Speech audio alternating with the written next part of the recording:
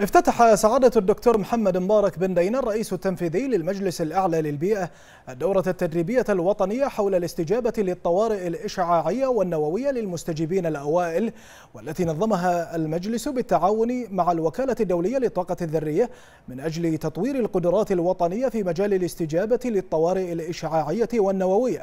وذلك عبر اللقاء بالاتصال المرئي بمشاركة 65 متدربا من العاملين في وزارة الداخلية ووزارة الصحة والمجلس الأعلى للبيئة. وفي البداية ألقى سعادة الدكتور محمد بن دينة كلمة أكد فيها أهمية عقد مثل هذه الدورات التدريبية مشددا على ضرورة إعداد وتهيئة كوادر وطنية تتمتع بأعلى مستوى من التدريب على الاستجابة للطوارئ الإشعاعية والنووية. لا سيما في هذه المرحلة الهامة التي تشهد تغيرات وتطورات متعددة ومنها الشأن البيئي.